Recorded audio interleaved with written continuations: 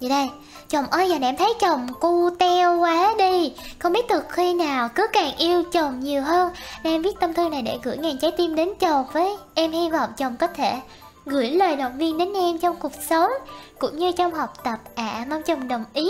Oh, Gửi lời động viên đến em Sau đây là đôi lời động viên từ tôi gửi đến em.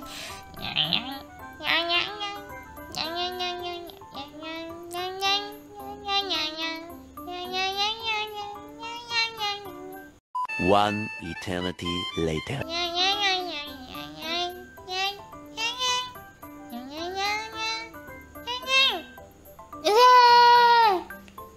Đây Hy vọng là những lời động viên vừa rồi của tôi có thể giúp em một phần nào